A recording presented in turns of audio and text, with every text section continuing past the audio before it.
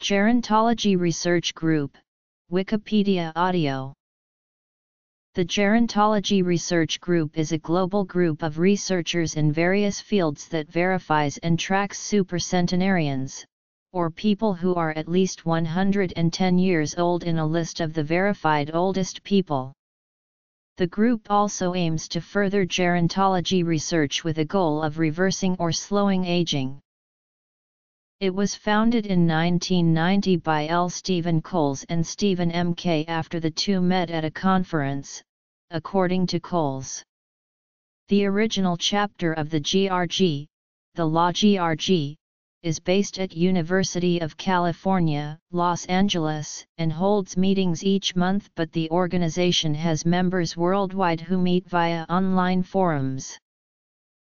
The GRG verifies that people claiming to be supercentenarians are at least 110 years old by validating proof of age documents provided by the claimant or their family. People claiming to be supercentenarians, or their family members, are required to supply documents that prove the claimant's birth date, change of name, and date of death, along with another piece of official government identification. Researchers from the GRG verify that these documents are true and correct and if they are, the claimant is included in the GRG's official tables of supercentenarians. The GRG also conducts research on aging by interviewing willing supercentenarians and collecting their blood and DNA samples.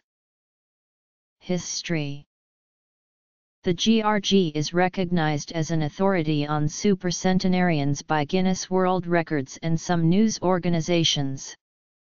As of September 12, 2016, the GRG recognizes approximately 45 living supercentenarians.